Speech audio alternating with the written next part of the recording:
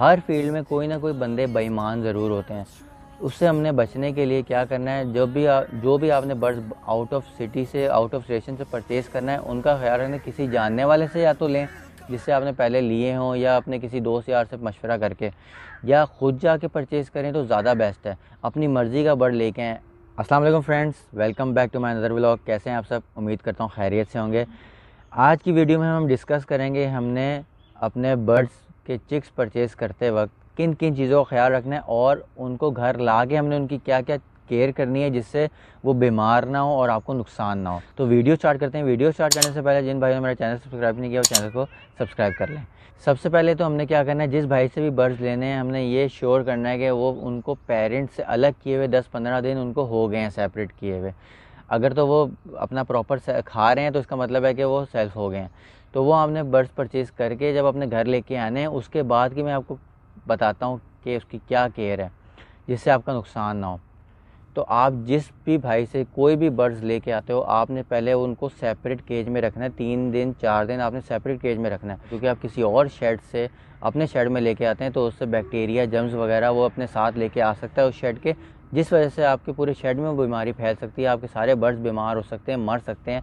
इसलिए बाहर से आप जो भी बर्ड्स परचेजिंग करेंगे जो भी चिक्स किसी भी शेड से परचेज़ करेंगे तो आपने पहले उनको सेपरेट केज में रखना है तीन दिन चार दिन आपने सेपरेट केज में रखना है। बर्ड्स परचेज़ करने के बाद आपने क्या करना है जब आप उनको घर लेके आएँगे आपने उनको फ्लाइंग केज में नहीं छोड़ना। एक दो महीने आपने उनको फ्लाइंग केज में नहीं छोड़ना आपने छोटे केजेस में छोड़ना है जिस तरह डेढ़ बाय दो हो गया डेढ़ बाय चार हो गया और आपने थोड़े थोड़े पीस करके सारे इकट्ठे नहीं छोड़ने। आपने थोड़े थोड़े करके पीस छोड़ने हैं ताकि अगर खुदा ना खास्ता किसी एक को प्रॉब्लम होती तो आपके ज़्यादा नुकसान ना हो। आपने फ्लाइंग केज में उनको नहीं छोड़ना। फ्लाइंग केज में छोड़ने से उनको बीमार हो जाते हैं, उनका पेट वेट ख़राब हो जाता है तो उनके अंदर इतना स्टेमिना नहीं होता कि वो फ्लाई कर सके इतना। बेशक आप किसी फ्लाइंग केज से ही लेके हो लेकिन आपने अपने घर ला के उनको छोटे केज में ही डालना है। क्योंकि आप जौन सा भी पट्टा अपने घर लेके आओगे किसी दूसरे घर से तो उसका माहौल चेंज होगा, वो स्ट्रेस में आ जाता है, वो बीमार हो जाता है, इसलिए हमने उसको फ्लाइंग केज में नहीं छोड़ना, हमने उनको छोटे केजेस में छोड़ना है ताकि वो बीमारी से बच सकें। एक चीज़ का आपने ये एहतियात करनी है, जिससे भी आप जावा के पट्टे अडल्ट करके लेके आते हैं, आप ये देख लें वो छः सात महीने उनकी एज पूरी हो गई हो। क्योंकि जावा अपना कलर चार महीने में वॉश कर लेती है, ऐसा लगता है वो अडल्ट हो गए हैं। लेकिन वो रेडी टू ब्रीड छः से सात माह में ही होते हैं। तो ऐसा ना हो कि आप चार माह का बर्ड, आप लोग रेडी टू ब्रीड बर्ड के प्राइस में आप लेके आ रहे हो। तो आपने एक ये चीज़ का ख्याल करना है कि आपका नुकसान ना हो, किसी को ज़्यादा पैसे आपने ये करके नहीं देना कि भाई ये रेडी टू ब्रीड है और अपने घर आते साथ आपका ब्रीड करना स्टार्ट हो जाएगा। रेडी टू ब्रीड जावा छः से सात माह ले जाती है। अब मैं आपके साथ अपना एक्सपीरियंस शेयर करता हूँ कि जब मैंने जावा के पट्टे परचेज़ करना स्टार्ट किए थे पिछली दफ़ा तो मैंने दस दस पंद्रह पंद्रह पीस हर घर से लिए थे ताकि ब्लड लाइन मिक्स हो जाए। तो मैं सबसे लेके आके अपना मैंने घर में कलोनी बनाई थी, फ्लाइंग केज बनाया था, उसमें मैंने सारे पीस, पचास से साठ पीस थे, वो मैंने उसमें छोड़ दिए थे। उसके बाद क्या हुआ, वो आहिस्ता आहिस्ता दो दिन गुजरे, तीन दिन गुजरे, मैंने बहुत खातिर की, उनको सॉफ्ट फ़ूड डाला ग्रीन फ़ूड जो मैं दे सकता था, दिया मैंने फ़र्स्ट मेरा फ़र्स्ट एक्सपीरियंस था जावा का तो मैंने उनकी जो केयर करनी चाहिए थी वो मैं नहीं कर सका और जो मैं नहीं कर सका, वो मैं चाहता हूँ आप लोग करें और आप लोग का नुकसान ना हो जो मेरा हुआ। तो मैंने सबको फ्लाइंग केज में छोड़ दिया, मैंने उनको खूब खातिर उनकी खूब खातिर की मैंने। तो क्या हुआ? आहिस्ता आहिस्ता वो एक एक करके बीमार होना शुरू हो गई, उनको लूज़ मोशन लग गए, कोई पीछे मुँह करके बैठना शुरू हो गई। तो मैंने उनको तीन कोर्सेज़ करवाए दवाइयों के। जो जो मुझे बत, बोलता गया भाई मैं उनका कोर्सेज़ करवाता रहा उनको मैंने एंटीबायोटिक्स दी उनको मैंने फ्लाइजिल वगैरह जो जो दे सकता था मैंने दी। लेकिन उसके बावजूद रोज़ के एक दो तीन पीस मेरे मरना शुरू हो गए। इस तरह करते करते मेरे काफ़ी पीस एक्सपायर हो गए। मैंने क्या किया मैंने उनको छोटे छोटे केजेस में छः छः पीस करके मैंने उनको छोड़ दिया। उसके बाद मैंने उनको वहाँ पर कोर्स करवाया। तो क्या हुआ अलहमदिल्ला उसके बाद से मेरी थोड़ी बचत हो गई। मेरे क्योंकि ना अलग अलग पीस छोड़ने से फ़ायदा ये होता है कि भाई जो ज़्यादा बीमार है, वो जो बीमार कर रहा है दूसरों को तो वो एक केज के बर्ड्स ख़राब करे, सबको ना वो बीमार करे। तो मैंने ऐसे ही किया कि मैंने छः छः पीस चार चार पीस करके सात आठ खानों में मैंने डाल दिए। तो अल्हम्दुलिल्लाह वहाँ पर जाके मेरी बचत होगी। मेरे पास पच्चीस से छब्बीस पीस बचे फिफ्टी फाइव पीसेस में से, तकरीबन फिफ्टी फाइव थे। तो अल्लाह का शुक्र है, उसके बाद मेरे कोई एक्सपायर नहीं हुए। उसके बाद मैंने उनका ख्याल, जिस तरह मुझे समझ आती गई साथ साथ मैं उनका ख्याल करता रहा। तो अलहमदिल्ला पिछले साल मैंने वो पच्चीस छब्बीस पीस मैंने जो बचे थे, मैंने उनसे ब्रीड ली और अल्लाह का शुक्र है, मैंने काफ़ी बच्चे उनके सेल किए। लेकिन मुझे दुख हुआ कि यार, मेरे घर में आके वो जो है, वो मेरी गलती की वजह से वो उनको नुकसान हुआ है, वो मरे हैं बेचारे। तो तो गलती तो इंसान से एक ही दफ़ा होती है, उसके बाद इंसान सीख जाता है। उसके बाद आपने क्या करना है? जावा को आपने किसी केज में भी छोड़ना है तो आपने उनको कूपेक्स पाउडर डालना है। केज के अंदर जो डालना है, वो मोटीन का डालना है, क्योंकि वो एक्सपेंसिव होता है, ढाई तीन सौ का, और वो उससे जावा को नुकसान नहीं होता। और जो केज के बाहर डालना है, वो किंग पावर टाइगर वगैरह के, जो उनसे भी होंगे, वो आपने किंग टॉक्स वगैरह, वो आपने केज के बाहर डालने हैं।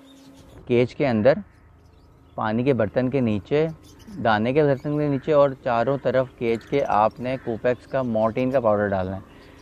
क्योंकि वो उस, क्योंकि उससे बर्ड को नुकसान नहीं होता, खुदा ना खास्ता अगर वो थोड़े बहुत टेस्ट भी कर लेती है तो उससे वो जावा को नुकसान नहीं होगा।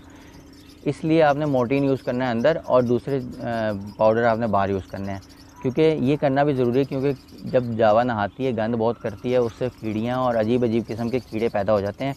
ये हमें जिसकी वजह से हमें यूज़ करना पड़ता है पाउडर कीड़ियों से बचने के लिए। इससे आपके वो बॉक्सेस में भी जाएँगी और बहुत से जो ना नुकसान कर सकती हैं कीड़ियाँ भी तो ये हमें पाउडर भी यूज़ करवाना बहुत ज़रूरी है। इसके बाद आपने जावा को ठंडी हवाओं से बचाना है, बेशक वो गर्मियों की हों या सर्दियों की हों।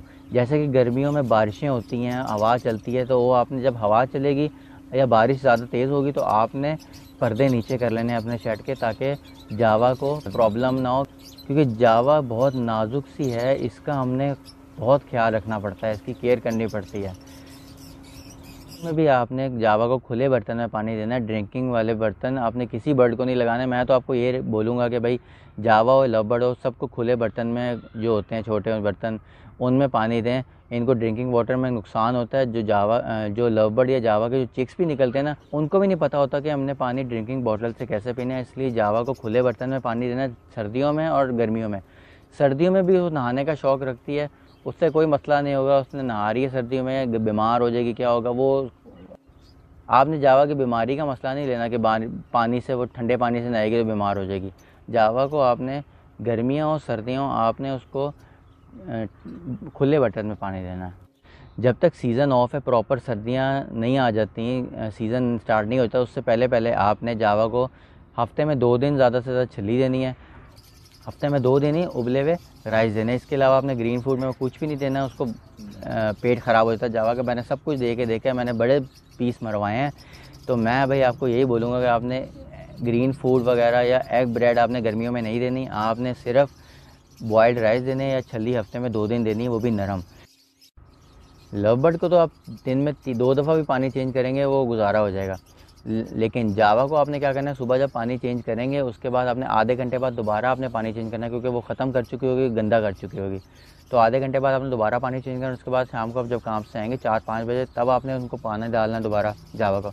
और रात को सोने से पहले लाइट्स ऑफ़ करने से पहले आपने पानी चेंज करके उसके बाद आपने लाइट्स ऑफ़ करनी है, क्योंकि जब वो सुबह उठें उठें तो उनको फ्रेश पानी पीने को मिले और वो अपना इंजॉय कर सकें नहा के आज की वीडियो हमारी इधर ही ख़त्म होती है। अगर आपको मेरी वीडियो पसंद आई है तो वीडियो को लाइक करें चैनल को सब्सक्राइब करें। इंशाल्लाह बहुत ही जल्द नई वीडियो में मुलाकात होगी एक नए टॉपिक के साथ। अपना बहुत सारा ख्याल रखिएगा, दुआओं में याद रखिएगा, इजाज़त दीजिए, अल्लाह